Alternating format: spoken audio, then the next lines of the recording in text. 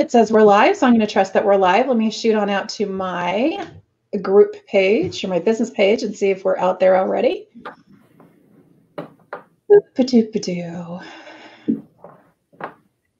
And I think we are live. Let me move this over.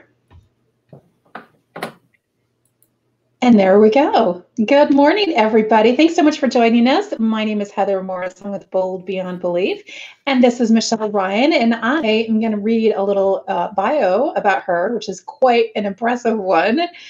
Michelle's a unique blend of yin and yang. She's both a public defender and a yoga instructor. She founded Balanced Professional eight years ago to help overachieving entrepreneurs to have it all a vibrant personal life, and a successful career. She's the creator of the Business Code, excuse me, the Business Freedom Code and the Thrive Formula. Michelle has trained hundreds of lawyers and judges throughout the state on how to thrive while working in a highly stressful field. Welcome, Miss Michelle. How are you this morning? I am good. Actually enjoying the fact that uh, we have dry weather here in Portland. So yay for that. It's December. Yeah, my um, my husband and my son are out uh, sledding or something. I don't know what they went up to um, uh, Mount Hood today, and so they are out there sledding somewhere, which is not my cup of tea, but it's lovely to look at. That's the nice part about being in Portland. We can go to the snow. Yes, yeah, you can go to the snow for a day or to the beach for a day, and so it's lovely out today. How was your holiday? It was good. A little uh little fun surprise. We were looking to rescue another dog. We'd lost our dog last month who was over she was 14 and a half. So she lived a very long, healthy life till the very end. But the house felt very, very empty when it was Thanksgiving without her. And so we're like, I don't know if we can make it through COVID without another dog in the house the first time since 1997 we haven't had a dog. So we started looking, and it's a very interesting process right now to get a dog and adopt it. It's very different than normal. And we ended up uh, rescuing a dog from Texas. And he, we were we were told we missed the last transport of December, and then a week later, a week before Christmas, we were told he's on. We're doing an ex- an extra one this month. So we got our new dog for Christmas, and he is so sweet and so good. And it's really nice to have a furry friend in the house again. Of course. I think I saw him. He made an appearance on another call we were on yesterday. Was that the, the new dog, right? Yes, yes. I actually told him that he maybe shouldn't be in here because he has a tendency to howl from time to time. he's a part lab cat hound, and he's still getting used to all the city noises because he's from the country in Texas. Yeah, that's so funny. We got a rescue dog from Texas too that they brought her up uh, on a on a little van. So I wonder if it's the same. You know, there's lots of dogs that are um, in the streets in Texas. So I think that that's a fairly common thing. And my understanding is right now shelters are empty because everyone's adopting dogs, which is awesome. I love that. Did you guys encounter that too? Yeah, we did. We were rather particular about what kind of dog we wanted because the stage of our lives and what we're not up for training a puppy all over again and dealing with all of that. No way. Love them for their cute little kisses, but don't want to deal with all their messes in the house. So we wanted an adult dog and we wanted someone who's being good with kids because my next door neighbors have little kids and also good with other dogs because we live in town. We literally mm-hmm. live in down and uh, inner southeast, I guess I'll call it. So there are dog parks, and we want to be able to get him mm. out and about and not be afraid of other dogs. So to find a dog who matched all those things was much harder than it normally is. We actually put our application in for one dog. It was down in Salem, which is an hour away, and we weren't the first ones in, so we didn't get that dog. And we were told to mm-hmm. keep on applying. You're uh, you've been pre-cleared. You can do anything like just choose another dog. I'm like, well, I don't know that I want to go an hour away always. I they didn't understand what my goals were. I had very clear goals, which is why we ended up with a dog from Texas. But yeah, the shelters, it's been interesting. I have a lot of friends who are involved with dog rescue. I actually used to volunteer at the Humane Society here for five mm-hmm. years training dogs. So a lot of my good friends are from that time. And my friend Julie posts photos almost every day when she goes and walks the dogs there. And there are a bunch of new dogs there I just saw some really okay. cute ones. Yeah. But I think they go really fast. Yeah. which is awesome. I love that. I yes. love that. All the dogs a home for Christmas. Exactly. we are going to dive right into some questions. So, tell us a little bit about the journey that brought your company to what it is today. Like, what was your inspiration for that company? Hmm. I'm going to try and go with the medium version because the short version doesn't make as much sense if you don't know a little bit background. So I worked for three years as a public defender, which is a very highly stressful job. And while I was there, randomly I tripped on loose carpet at work and I ended up with a massive head injury. And I was out for six weeks with post concussion syndrome, which meant I couldn't compare prices at the grocery store, read. Mm-hmm. I really freaked out mentally for a little while there like what's going to happen? My disability insurance kicked in and financially it was fine just it was scary. And finally i just gave into it. Luckily i've been doing yoga. So i just i'm like okay i can control my breath. I control what i'm doing. And my thoughts need to calm down too. So i just let go of what's going to happen in the future focused on healing and i got well. But when i came back to work as a public defender after being out for six weeks it wasn't really my thing. I didn't want to give all of my time and all of my energy to work, mm-hmm. miss my friends' birthday parties, miss everything. It seemed like not being able to go home as often as I'd like to. So I started my exit plan and I took some time thinking about it. And I actually left the public defender's office. I still do public defense, but I do it from my office here at home and I get to do it my way. And I started realizing that my colleagues and friends were still stuck in that cycle where they just were burning themselves out over and over again. Or what my grandfather used to call, my grandparents were entrepreneurs, he called it pigeon fever because we were the last operating live pigeon trap shooting in the country down in Kentucky, where my family's from. Uh-huh. And so my grandfather would have four to six shoots a year that would last five days and he would work himself so hard getting ready for it, going through the gun shoot, and then he would totally burn out and he mm-hmm. would collapse practically. And he would be sick for a week or two.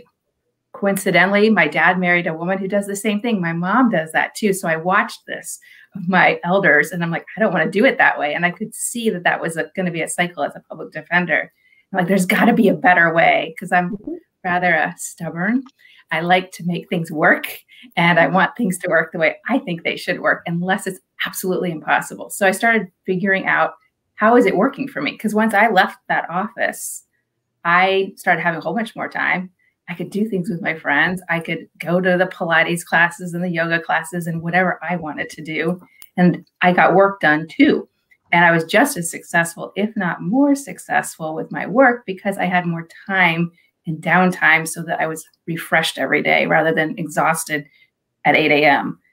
And so I started thinking about, I worked with a coach for a little bit when there was a little hiccup with some personal family stuff. Mm-hmm. And she actually was the one who put the idea in my mind. She's like, You're so good at doing this, and you've been mentoring other lawyers for free for how many years? And I was like, That's just part of what we do she's like, you could actually get paid and help more people. So she put the seed in my head. I actually went through a program about coaching, and there was a lot about it that resonated. But because I'm stubborn, because I am who I am, I like everything to be about me and what works for me. And mm-hmm. so it's not a cookie cutter whatsoever. It's me being a total research geek, applying those things to my life, seeing what works. And then I started talking to people about it. And Heather, you and I talked a little bit about the word coach before we mm-hmm. got on. And I tested the waters by mentioning it to some friends or people I didn't even know at parties. And the word coach did not resonate whatsoever with most of the people I talked to, which really disappointed me. But again, I'm like, Google, what can I look up? What other words mean coach? And I was like, oh, the mentorships that I've been doing for the Oregon State Bar, Multnomah Bar Association, all these things. I'm like, I can just call myself a mentor and people will understand what that means. And it resonates better with me actually. So I started calling myself a mentor, but I still was nervous about telling the other lawyers about this because when they found out that I did a yoga teacher training, the first question was, So you're not practicing law anymore? I'm like, No, I'm doing both. They're like, I don't know about that, Michelle. I'm like, Yes, I'm doing both, and you're not my boss, and this is what's happening. And I said, you could do more than just practice law too if you want. Like it's fine to do what you want, but don't go judging me for what I'm doing. Mm-hmm. And so because of that reaction and the assumption that you could only be one thing in life, I decided to test the mentorship program with non-lawyers. Mm-hmm. And all of my friends in other professions were like, what about me? My vet was like, we need help too. We have a high level of burnout and no one's here to help us my doctor even was like, What about us in primary care? We're constantly seeing patients. And I hadn't thought about all of those people. So I actually ended up calling a business balance professional because I realized that even though I have my personal unique experience with practicing law with a high, high caseload, 100 plus clients at a time when I was a public defender, the same kind of concepts apply to other professions. And I could help them too with my super analytical brain and then my yoga cart. Mm-hmm. Mm-hmm. I love that. And you've answered my next question, which were what, what are some of the challenges that you discovered along the way? Excuse me. And one of which was I heard you say that people thought you either had to do one or the other, right? That, which is coming from their belief, right? And it's probably why they don't um, you know they don't seek out anything else to to combat you know getting rid of that stress and relieving that stress. It's interesting because i think that especially as americans we tend to wear the word busy or we tend to wear the word um, you know uh, I'm, I'm so important. I've got so much stuff to do. I'm incredibly busy as a badge right? We are we don't take as much vacation as the rest of the world. And i think we're just now seeing the value of what you're bringing into the world which is we need to have that outlet somewhere and we need it to be a healthy outlet, right? Instead of spending the money or going to the bars or doing whatever, to have that healthy outlet for that really high, um, that really high level of workload, whether like you said, you're a vet or you're you're a medical doctor or you're an attorney. So I love that you're providing people with that idea that they can be balanced, that it doesn't have to be go, go, go, go, go, and then burnout there's there's preventative medicine there right that you can do in terms of yoga. So what are the things besides the yoga do you help people with to get them into balance? So one of the big things is just, it doesn't necessarily have to be yoga. It's moving our bodies. I actually learned this part.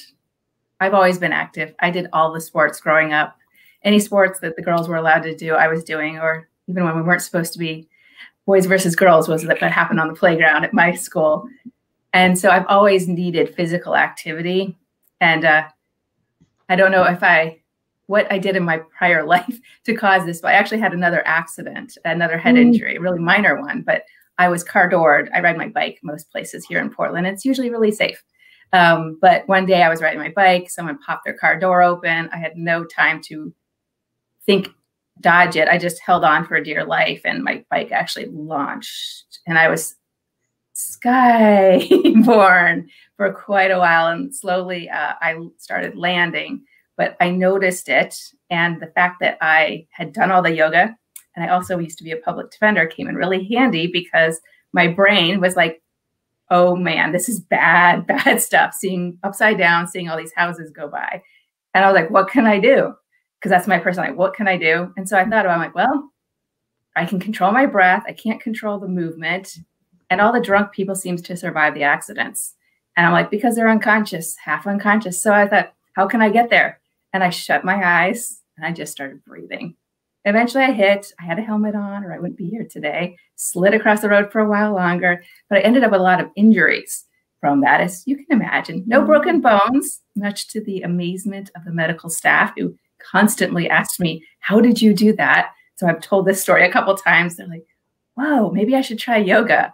Like, or just try to figure out some mindfulness so that you can go internally to help keep yourself safe when you're not otherwise safe. So during that time, though, I couldn't sit for more than 20 to 30 minutes or I'd get stuck in a seated position and it was really hard to get up. So I started a timer where I would get up every 25 minutes and I would move my body because I had to. And then I started realizing that it's really helpful to move your body mm-hmm. regularly uh, Heather and I sometimes are on calls together, and I frequently will just put my video off because I'm like, I'm moving around doing some weird motions. It'll look odd on the video, but it's keeping me happy because you don't always have time to do like a 90 minute yoga practice or go for a run when it's pouring outside Or like right now, my normal schedule, I'm like I said, normally I'm pretty active and do something every day. But due to COVID, I can't go to the Pilates studio and use my favorite machine there. I can't go to the gym and run. I can't do the weight lifts. I have a little bit in back behind the screen, my elliptical and some weights at home, but it's not the same. And I'm trying to learn how to do what I can. But some days, what I can do is just get up every 25 minutes, move. Mm-hmm. It happens to coincide very well. As a lawyer, we're tied to the billable hour quite a bit. And so I can hit stop and 25 minutes rounds up to be 30 minutes. So I don't feel like I'm wasting a whole bunch of time. And then I just come back on. So like just a five minute break or go and get tea. I, I get a bunch of stuff done in that short time to just reset slightly. It is hard though to do it because you mm-hmm. might be in flow mode with work. And sometimes, yeah, I'm like snooze on that alarm. I intentionally keep it on the other side of the room, like it's an alarm for the morning. That's my big thing is actually just moving and getting up from the desk so that we don't become very oddly shaped human beings with the slumped shoulders and the really tight hips so you walk with your tail tucked underneath. The other is just carving out time even if it's just that little four five minutes after 25 minute breaks to do something fun. I have this new dog so we're playing together quite a bit we're running around in the backyard because he has kennel cough right now and he can't go play with the other dogs or interact with them like he wants to. So I'm running around with him in the backyard and throwing the ball, and it's silly and goofy. We don't have a huge yard, so it's really challenging for both of us to have mm-hmm. fun with it. But to have that time to play and just not do or not be in mode all the time, because that's my tendency is to do, do, do, do, do, go, go, go. And the other part I frequently do, if I have the time, is actually formal practices like yoga nidra, meditation. Mm-hmm. I teach restorative and yin yoga, and those are both really easy, great ways to get into mode. And one of my dreams is to actually, in the next year or so, to launch my online studio. It's been something that I've been wanting to do for the last six months, and a lot of my students are like, "When are you going to get it done?" But there's been a lot of challenges this year, and I didn't want to add to my plate. I wanted to stay balanced, like we talked about. Mm-hmm. And I mm-hmm. know I have that tendency to just put more and more and more and more on until pigeon fever occurs.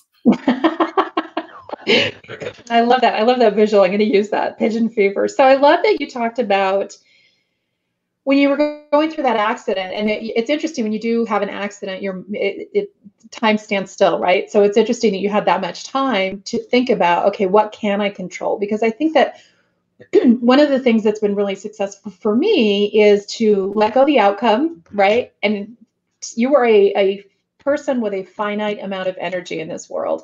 And to take that energy and not spin it and not waste it on things that you can't control right? Like politics and the economy and all this other stuff, and work on what you can control and let go of the rest. So I love the idea of I the only thing I can control, I can't control the fact that I'm flying through the air, but I know I can control going within and closing my eyes and breathing and just running with it. So I love the idea that to to take that into you know, that you, you talked about the mindfulness because when you are a, a, medical doctor or a veterinarian or a lawyer you don't always have control over what your day looks like right and so figure out what you can control and let go of the rest just to go with it to kind of go with it and just kind of roll with the punches like you did when you landed obviously so I love that you talk about just having that five minutes of mindfulness because I think for a lot of people, they figure, I don't have an hour for this.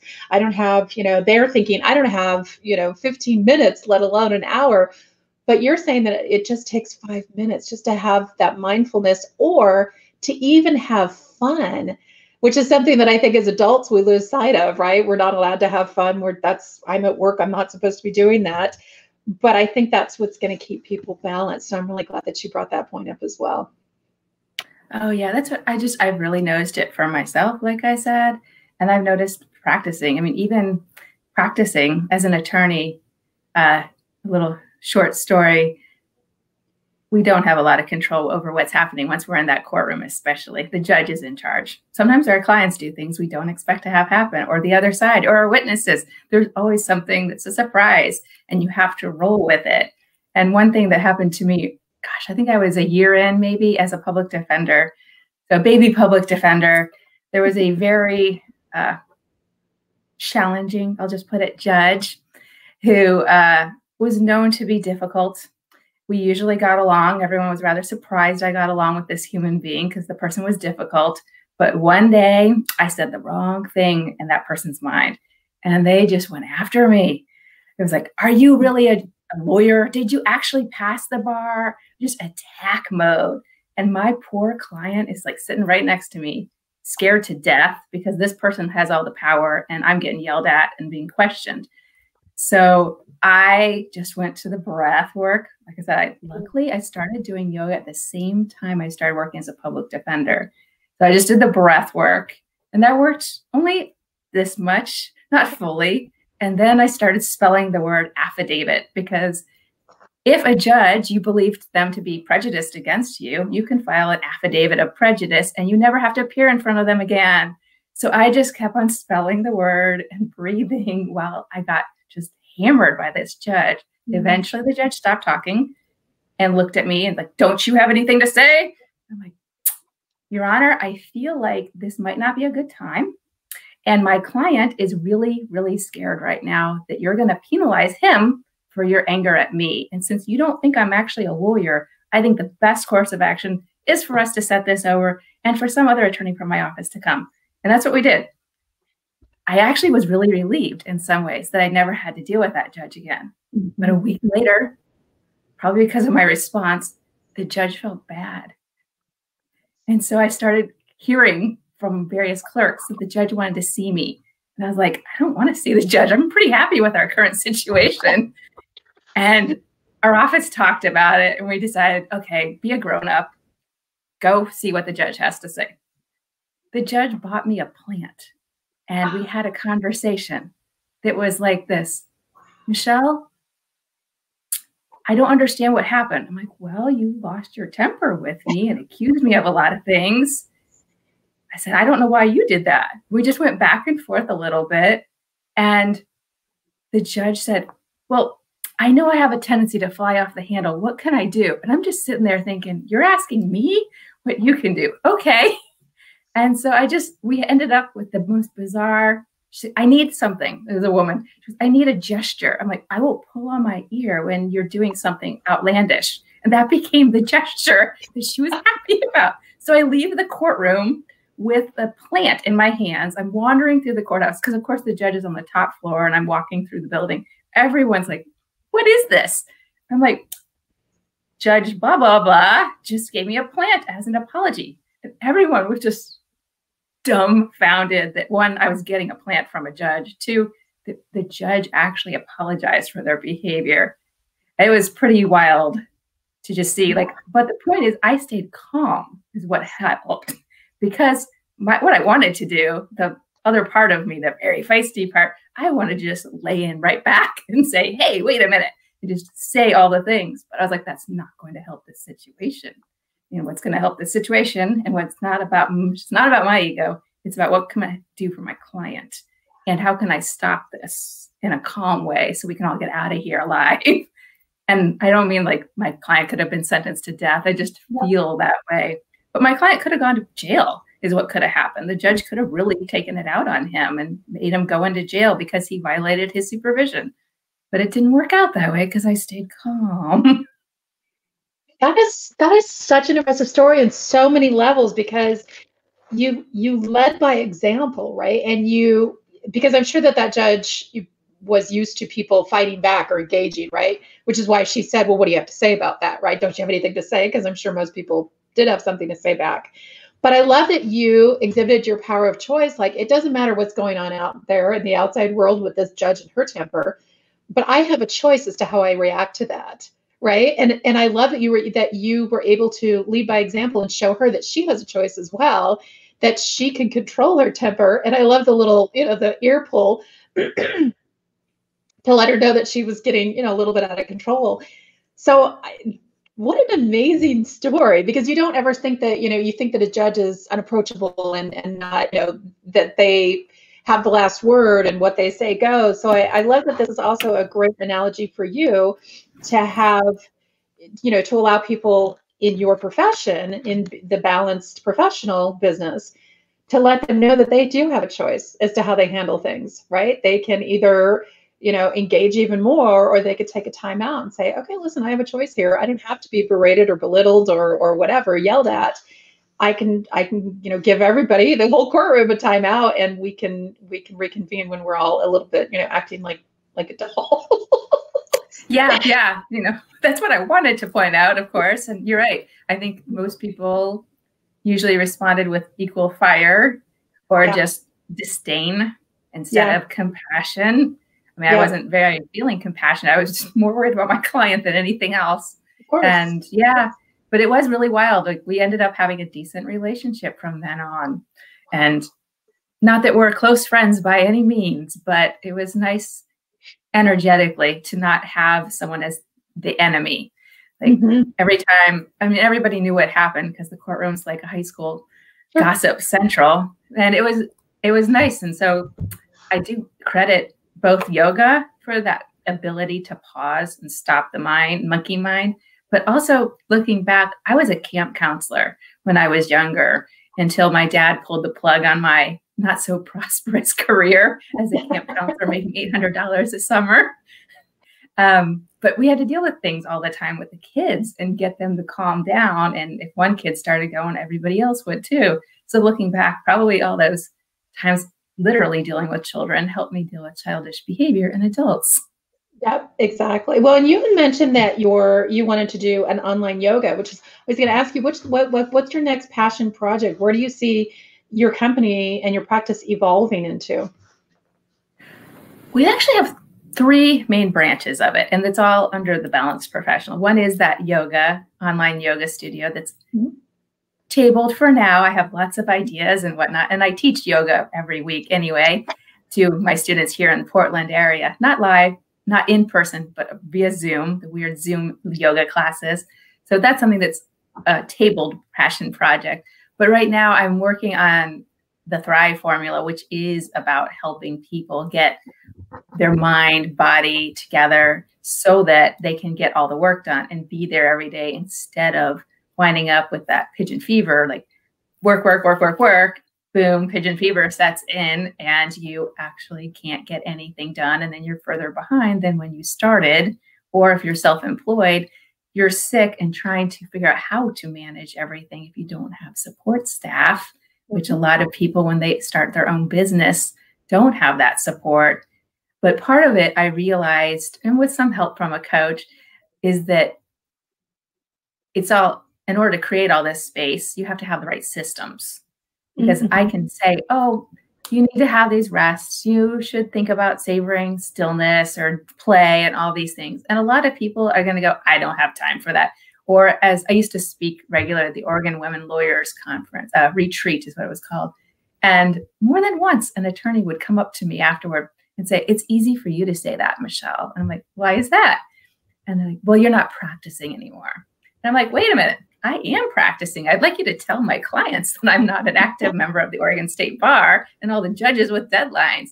And every time they'd be like, oh, wait, whoa, you're both practicing and doing these things. Because I think what's happened, and at least with the lawyers here in Oregon, is that we have a I'm going to call it a free service. We pay for it because we have mandatory professional liability fees that are rather spendy, but we pay for that. And part of what funds this other organization that provides free services. So we've got the professional liability fund paying the money to every year you have to pay what $4,000 or something.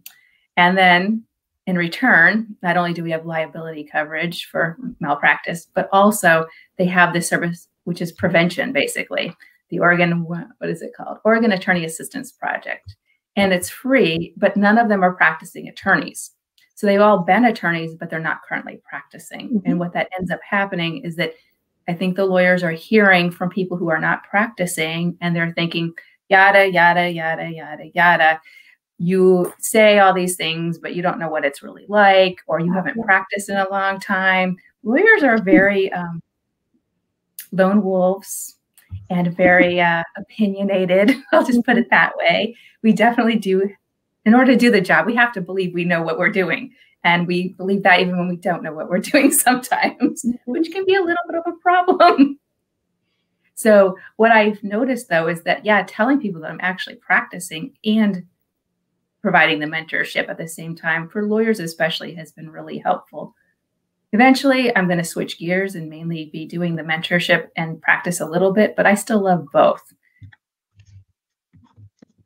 Well, and I love that you brought up the idea of systems because I think that especially in a professional world, they, um, you know, what I've discovered in Portland is that uh, we have a lot of woo here, which is what I, you know, one of the things that I always talk about is my particular system is where the woo meets the work, right? Because I think you have to have both because you can have the the yoga and the mindful and the meditation and that but then you have to have a system behind that. So i love that you talked about having a system behind that because that's where the woo meets the work right? Without one side of that coin the other side of the coin doesn't exist. So i really appreciate you you know talking about that. So you had mentioned it was a three prong approach. So it was the yoga and then the thrive formula and then the third was the biz the one that's more geared toward business that I keep on changing the name of because I had a name I loved and then being an attorney I googled it and looked on the copy mark trademark websites for the government and realized that someone had written a book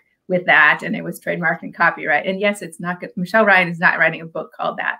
But I wanted to call it the what it I can't even remember. I yesterday I tried really hard to delete it from my brain like stop think calling it that uh, stop calling it that and I totally am now spacing on what it's called. I have it written down somewhere, or maybe I the sent it to formula? you.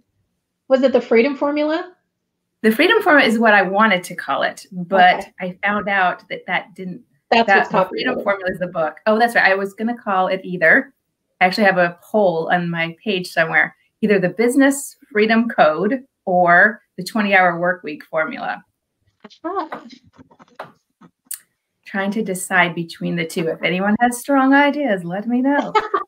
or maybe like freedom framework or something. So I love the, the the 20 hour work week. What does that look like? Well, that's that's something that came to me yesterday afternoon. When I was brainstorming, like, hmm, what can I call this thing since I can't call it what I want to? Like, okay, there's a reason it's not going to work. I'm not just going to call it that. This is not working.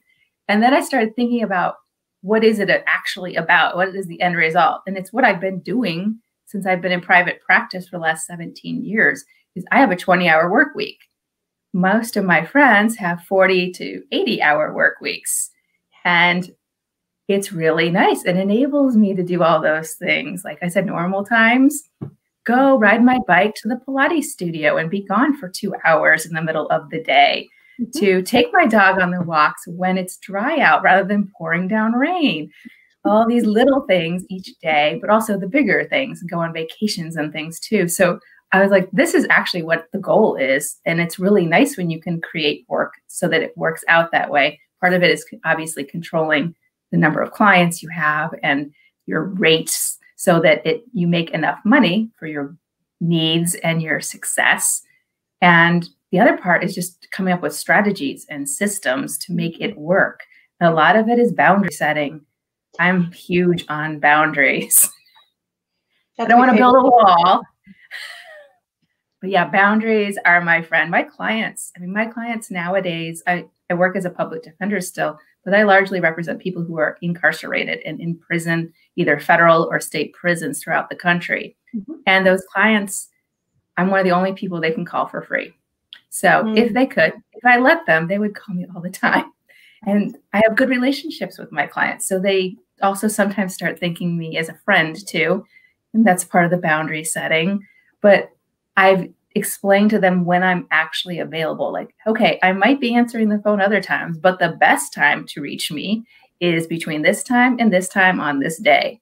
And some of them initially balk at it, like, what? I should be able to reach you anytime. I said, nope, I can't reach you any time of the day, and you can't reach me. I have this time set up and I explain it to them because I noticed if you don't explain to people why you have these things, they mm-hmm. bristle. Like, why? Well, who do you think you are? Well, the public defender's office has this twice a week. And I'm like, well, great for them, was my initial response internally.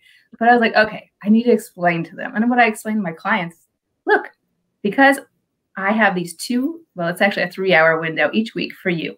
That means I can't get anything substantive done on your case. And mm-hmm. all the other times that I'm not available, I'm actually doing work to promote your case. I have systems. We have all these systems in place with the weird ways you can communicate with people in prison, how to set up a call. We can set up a confidential call.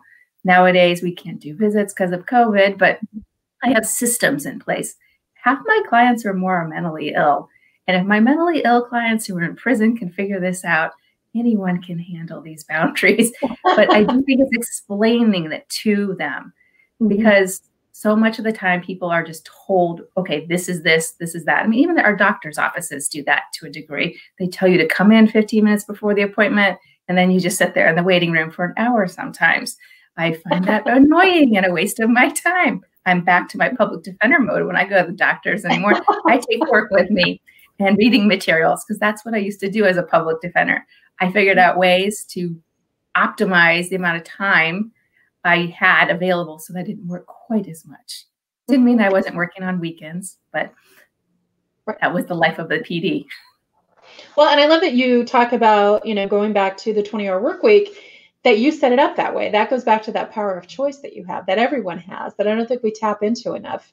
Like you said, that, you know, somebody tells us something and we just take that as status quo. Okay, okay, you told me to be here at a certain time. I have to be here at a certain time. I'm not going to question why that has to happen. I'm just going to do it. So I love that you're bringing that out. And again, leading by example, because when you teach people that you have boundaries, what you're also teaching them is that it's okay for them to have boundaries as well. Right? Good point. I love that. Well, I'm trying to do that with my son. So who's 12 and I'm teaching him, you know, mom has boundaries and you're allowed to have them as well. So, and he certainly does now. I bet. Uh-huh. So what, looking back, what's the best piece of advice that you've ever received, whether that was personal or business or? Hmm. It might just be to pause and breathe. Mm. Something mm-hmm. every yoga teacher says at some point or another, because it helped it's helped me in so many ways, like the what I described, but also just other times where I can feel myself about to spin out or spinning out and pausing and getting my breath. And right now we have this new dog in the house and he's starting to, he's been here for more than a week. So he's starting to challenge ideas. And I'm like, sometimes it's a little challenging. He did, he's from a farm ranch in Texas. So he'd never walked on a leash, it seems like before. So we're walking and he gets scared sometimes. And I get scared and I'm like, well, pause and breathe. Just that pause and breathe. It's simple little mantra. I don't know who said it. Like I said, it's probably one of my many yoga teachers over the years, but it's helped me in so many ways, like in the courtroom and outside in real life. And sometimes even, you know, interpersonal. My dad uh, was so funny. He was so disappointed after my first year practicing law or so. He's like, You're no fun to argue with anymore like, what are you talking about? He's like, you're like all calm and rational. You're not like passionate and saying things like you usually would. I'm like, hmm. said, well, it's probably a little bit of practicing law. Like I can't just say what I want as attorney. Someone might not be happy with me if I did whatever I wanted all the time. But I said, it's probably the yoga more than the law. They just came in at the same time. but it was so funny to hear that he missed the feistiness and the yeah. emotional, like reaction mode that that's who I was when I was younger. I was extremely reactive. But thankfully that yoga came in to allow me to be more responsive instead. That pause and breathe. well, and I like that you could take that anywhere, right? That's not something that has to be, you don't have to set it up. You don't have to have any special equipment. You have that with you wherever, and it can help you through any situation, right? Whether you're dealing with a client or a dog or you know, traffic or someone's opinion that's not jiving with yours or a doctor's visit or, you know, whatever, you can take it with you. I love that. Great advice. Yeah, I once had a yoga teacher that I'll always remember. She'll say, she used to say, take your shoulders out of your ears. And the first class, we were like, what is that supposed to mean? Because we all walk around like this way. If you could take your shoulders out of your ears, ah, and just your whole body. And that's, it's interesting how many people and how many of us walk around holding our breath all the time right? So I love that you oh, said yeah. that. I love that you said that. So what is something that like a habit of yours that you think has been instrumental in your success? be the bookmarking my day.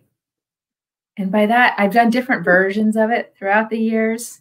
When I was a public defender, at one point I worked downtown for a couple years, and then I worked actually out in Washington County, which is about, depending on traffic, a half hour to an hour drive.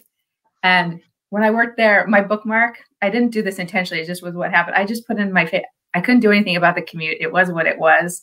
Couldn't do anything about the other drivers. I was like, okay, what can I do with this time? This is before, this was back in the 90s. So before all the cell phones and things you could do in your car. And I would just put in my favorite tapes and sing mm-hmm. along. And it made me happy going into work. And it made me happy and let go of things so that when I came home from work, I wasn't just blah, blah, blah, blah, blah. This is all the shit that happened today. And this is how this is wrong and that's wrong. Because there's always injustices happening. It's the justice system. It's a system for a reason that's not quite just yet and far from it most of the time. But nowadays, I do it a little bit more structured because I work from home.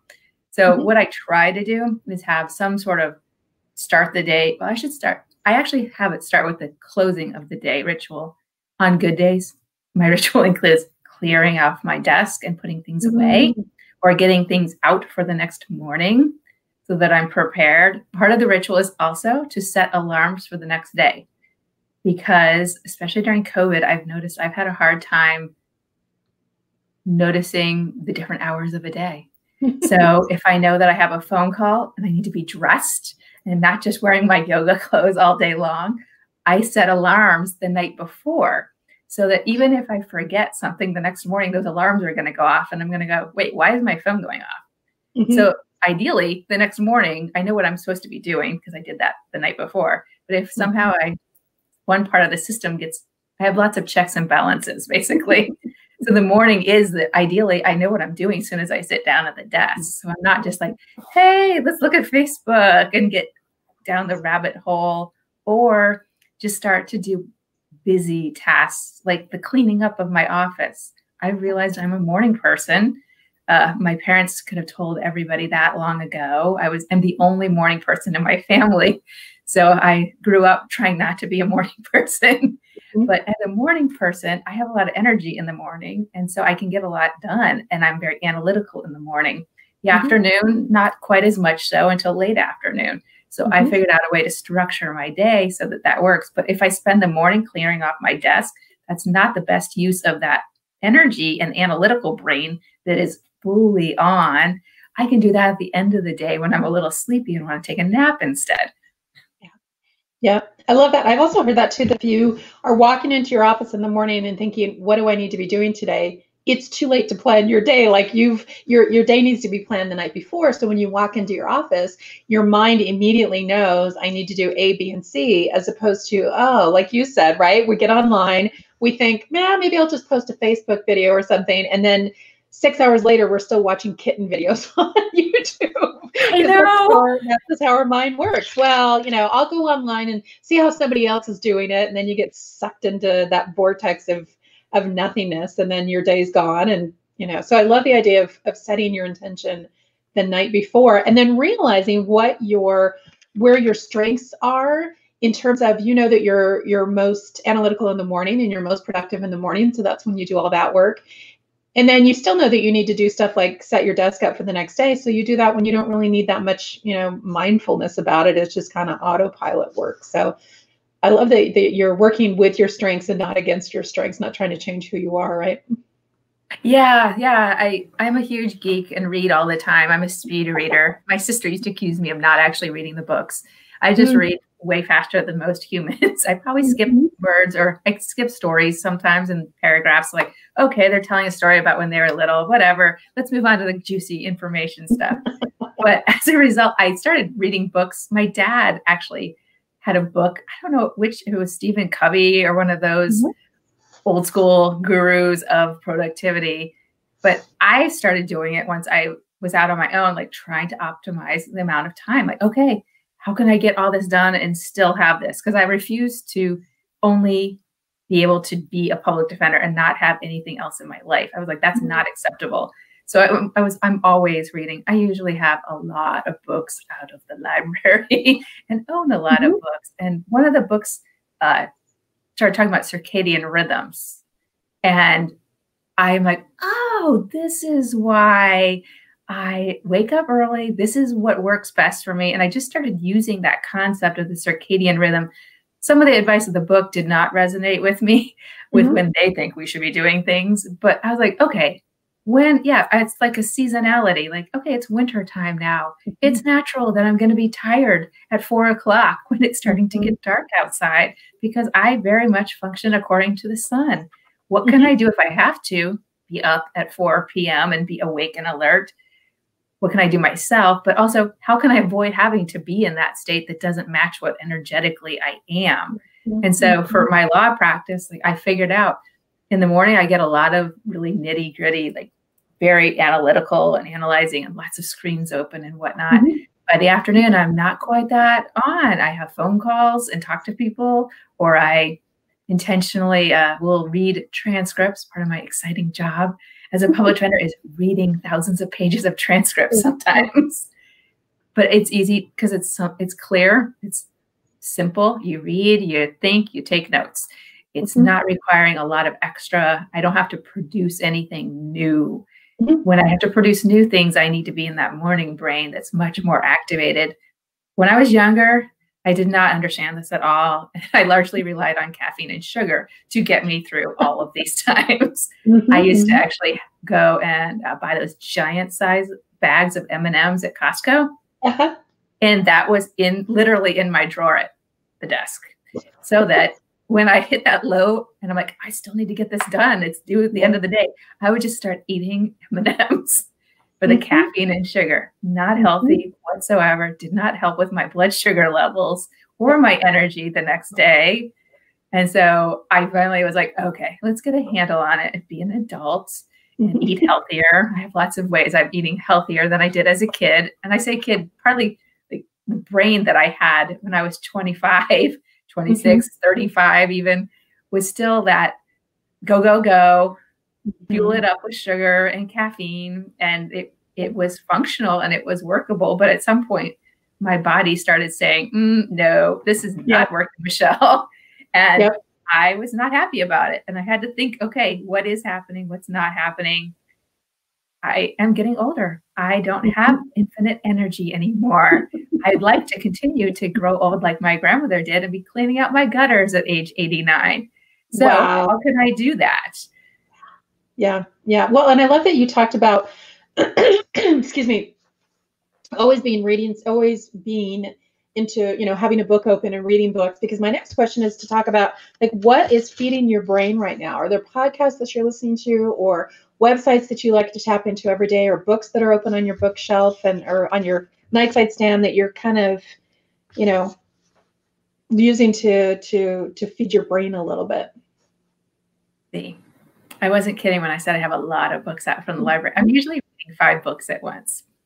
How many? Um, yeah, I there are different topics. Some of them are uh, like right now I'm rereading my one of my yoga teachers, Bernie Clark's book Yin Yoga, and he had a newer edition come out. It's very similar to the old one, but I'm rereading it because Yin Yoga is all about Chinese medicine and their five elements, and winter is a different element than fall. So I'm always like, okay, let me look at this winter with different eyes. Like, okay, this is the water element.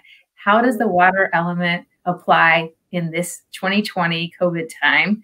And it's about going internal. And so that sometimes fuels what other books I get out of the library because I personally have a huge problem whenever we have the time change. It throws yeah, yeah. off so much. So I also am usually reading some book about sleep and how to make sleep as best as possible. And uh, yeah, I am reading lots of fun fiction books, nonfiction books. I probably have 50 books out of the library at any given moment. Did I lose you, Heather? I don't see you anymore. Hmm.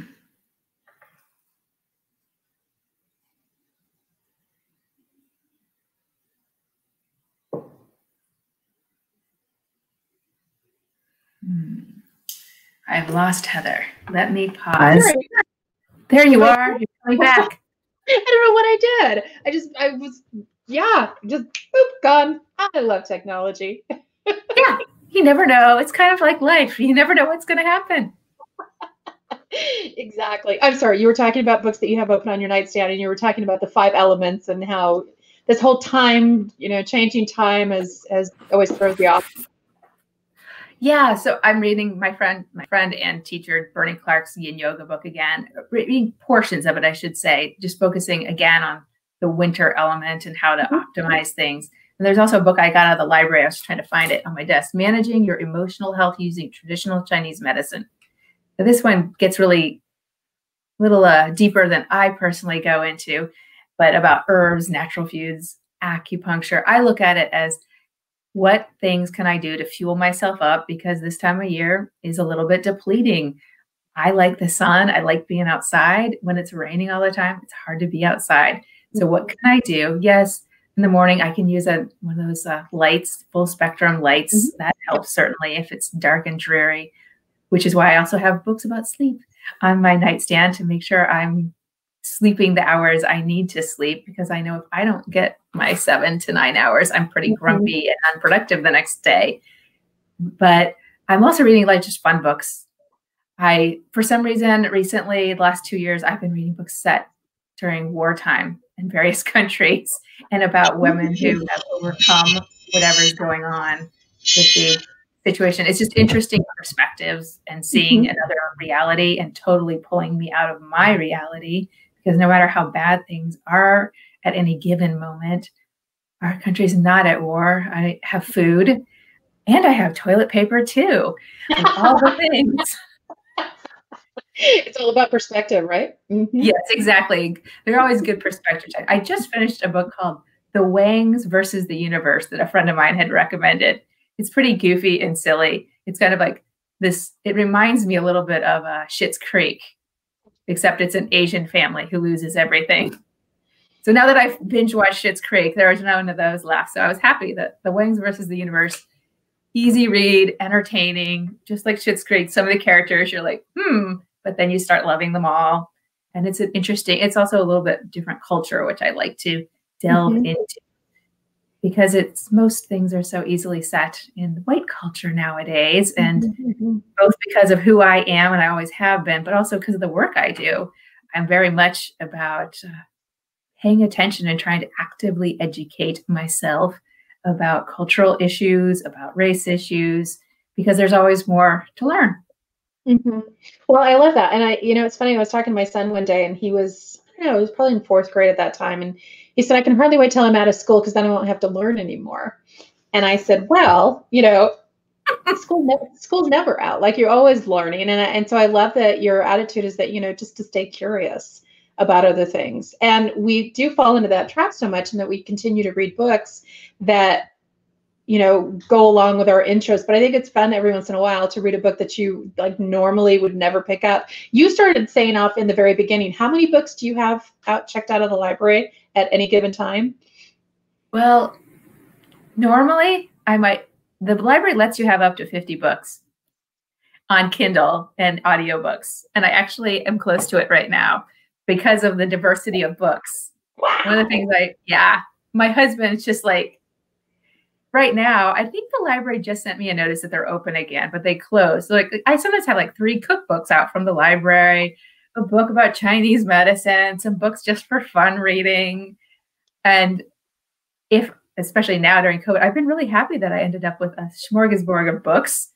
I do mm-hmm. admit that a little part of each day, normal times, is managing my library loans to make sure I know which books are due and not due but it's also part of my normal habit is to go to the library and I stumble upon a new book and I'm like, oh, well, that book's interesting. I'm looking over here because I saw one of the books that I had out. I was like, oh, I didn't even realize that was on my desk because I didn't clean it up last night. it got buried underneath the piles.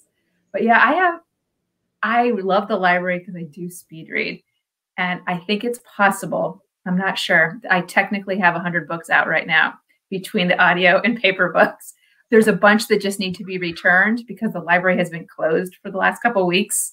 And I'm like, okay, where do I put them? I just I cleared a shelf on my uh, bookshelf at home just for library books, so I know where they all are.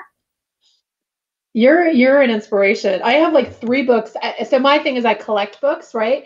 And I like to think that I'm going to absorb the information through osmosis just by basically having them on my bookshelf. So you're a great reminder that I actually need to open up the books to read them. I have like usually two to three books that I'm you know, I, I, very rarely open a book, read it through, and finish it and put it back and get a new one. I've got like three or four open at the same time. So thank you for justifying my habit in making me feel that that's okay.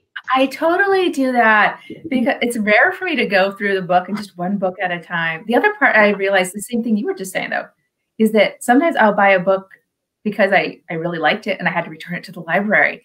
And then mm-hmm. sometimes I don't finish it and yeah. it's there's no deadline and it's weird that the library is my deadline to finish some of the books some of the books i just read slowly and it takes a long time because i like some of the books i like to have those ideas just filter through or like i was talking about the chinese medicine i'm less likely to want to hear about the fire element in summer right now because we are right. not in summer i want yeah. to hear about how to add more of the fire element to my life right now mm-hmm. but there's some books that seasonality, I guess that's the yeah. word, seasonality, the whole thing of nature and rhythm and where I am. This time of year, I probably read a little bit more than normal. Sure. Especially, you know, no travel, can't go anywhere. Yeah. But I can go somewhere with my book in my mind, just like they told us when we were little kids in elementary school. Yes. Yep, exactly. Yeah, it'll be interesting to hear how much, you know, the sales of books and, and Kindle and books um, on you know on audio and and all those kinds of things have gone up since covid has arrived so which might be a silver lining in all of this right yeah hopefully it'll keep pals alive exactly exactly. So i wanted to let people know how to work with you and to if you had anything to share with the audience we can pop that into the comments. And how do people find you and how do they work with you? Um let's see. This simplest way is to go to balanceprofessional.com. My website has all sorts of things there. Another easy way, I always forget the URL, thrivesociety.life, um, which leads to my Facebook group. You have to answer a couple of really simple questions like your name and email to join, things you know the answers to. But on the Thrive Life, Society.life, that Facebook group, which is private, um, we have videos. And I'm working on getting my productivity challenge up and uploaded. We did it a, a year or two ago and it was really popular. So I'm working on uploading those videos because I know New Year's resolution time is coming up for lots of people who do that. And productivity is a simple aspect of it. And it also has videos about releasing, like we were talking about the shoulders. I'm actually a trained Franklin Method instructor, and Franklin Method is a movement technology. I call it technology because it's pretty amazing. It's not just movement, it's using mind body and using science based research about neurocognitive issues.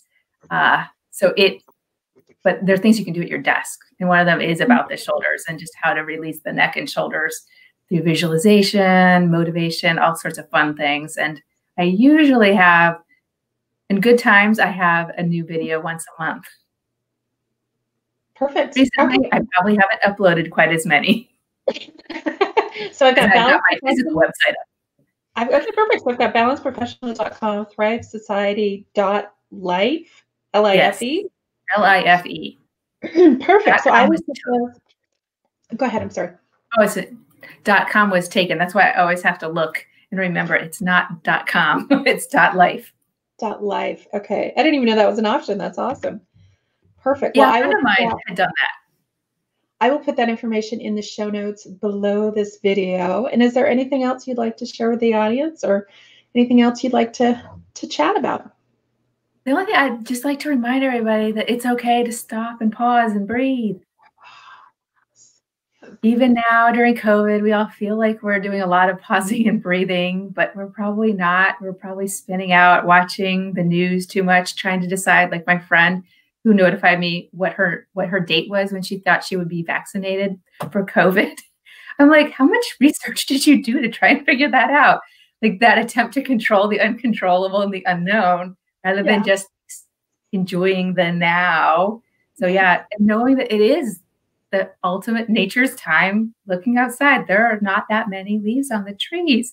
It's hibernation time and it's okay for us to hibernate too a little bit and rest so that when we all come out of this as the weather improves and as the vaccines are all coming out, we can enjoy our life and be rested and ready to go. Because if we're burning ourselves out right now, we're not going to have a lot of energy when we go from this very introverted yin time of year and life. This whole year has been very yin like to go to a yang, active mode. We're just not going to enjoy it quite as much. That's my recommendation. We all just accept the pause, accept the breath. It doesn't mean stillness necessarily, but it could be just enjoying what it is rather than fighting against reality. Mm, I love that. I love that. And there's a lot of there's still a lot of work that happens in the restorative stage, right? Because that's usually when you're like when you sleep at night, that's when your body's doing all that re- repairing work, right? It's not it's not in the frenetic energy of the day. It's it's when your whole body is quiet. So I love that you that you are reminding us that we don't have to physically be doing something all the time in order for something to be happening. And sometimes the best things happen when we just rest. Yeah. Oh, I love that. Now I need a nap. and that's totally okay too. I think I'm gonna go take one. The house is quiet. The dogs aren't playing. I think I'm gonna go do that. So nice. I will put all your information down below. And I so appreciate you joining us today. This oh, has been so much fun. And I can't wait to watch and I can't wait to to see the, the evolution of this and and to to I'm gonna go check out a couple of your videos online and see what that's all about. And I've never heard of the Franklin technique, so I'm gonna go check that out as well. Yep, and feel free to you know comment, message, go to the page, the group, or the Facebook page, whatever works. And if someone wants to directly email me, you can Michelle at balancedprofessional.com. Perfect. I will put that information down below as well. Well, thank you so much for joining us today, and Thanks, I hope you have Heather. a fabulous. Yeah, my pleasure. I hope you have a fabulous new year. You too. It's exciting. 2021's and a few days. I know, I know, which actually this year I'm really excited about. I'm really excited about it. I feel like I've been in a little chrysalis kind of, you know, doing my my repair work and my restoration and and now I'm ready to bust out and make things happen. So I know, I saw you have some exciting things that are being launched soon. I do, I do, I do. So good. Well, I will see you around in calls and I will see you around in your business. And I appreciate you being here with me today. Thank you so much. Thank you, Heather. Take care. Bye, guys.